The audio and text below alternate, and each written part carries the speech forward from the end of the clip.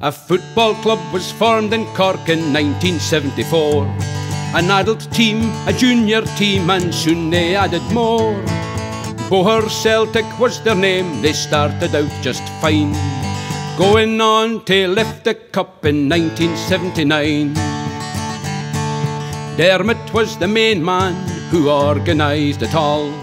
A hardy hoor who took no shite both on or off the ball. When the ref gave him the red card, he had to take a stand. He said, You get off, you langer, cause you're on my fickin' land. So shout for Boher Celtic, you'll never keep them down. And just like out Thin Lizzy, sure, the boys are back in town. The atmosphere in Mallow, you could cut it with a knife. They should be called the zombies, they keep coming back to life.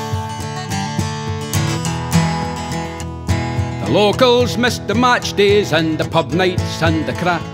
So Mike and Connor hatched a plan to bring the Celtic back. They don't want fame or fortune, and there's no one getting rich. All they want's for Dermot to donate a fickin' pitch. So here we are in 22 and things are underway. If the boys are good, their wives and girlfriends let them out to play. And next year, with the help of God, if every man is sound, just like the hoops in Glasgow, they'll be European bound. So shout for Boher Celtic, you'll never keep them down. And just like out Thin Lizzy, sure the boys are back in town. The atmosphere in Mallow, you could cut it with a knife. They should be called the zombies, they keep coming back to life.